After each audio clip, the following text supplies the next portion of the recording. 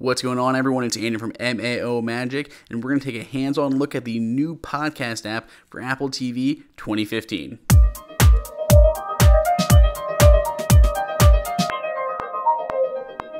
Now, the first time we saw the podcast app for the Apple TV was in the 9.2 beta.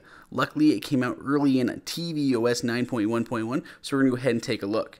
Now, there is a menu bar at the top, like many Apple TV applications. The first is the unplayed episodes. So any so, uh, any podcast that you're subscribed to will show up here.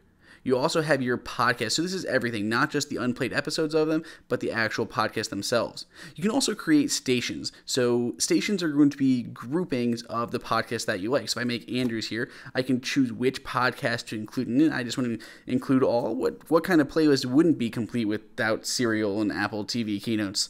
And then we're going to go ahead and there's a few other settings you can kind of tinker with, but basically you're putting all these together into one playlist so you can just kind of play them together. So then under my podcast, you have the ones you're subscribed to, as well as any stations you've created. Inside of featured is basically this is like the store for podcasts. Obviously, they are all free, but you can come through here and choose any podcast that you like, play any episodes, or subscribe to any of them.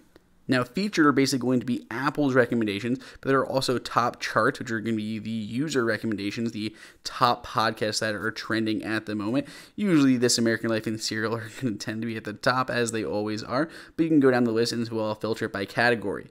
And then lastly, we have searches, so you can come in here and search for something in particular. So if you want to find the newest episode of How Did This Get Made, you can simply start typing it in, and you'll have all of the lists. You can play any individual episode, subscribe to have it show up in your podcast, and then when it is playing, it'll show up in that top right hand corner is now playing. It'll give you some simple album art and some control.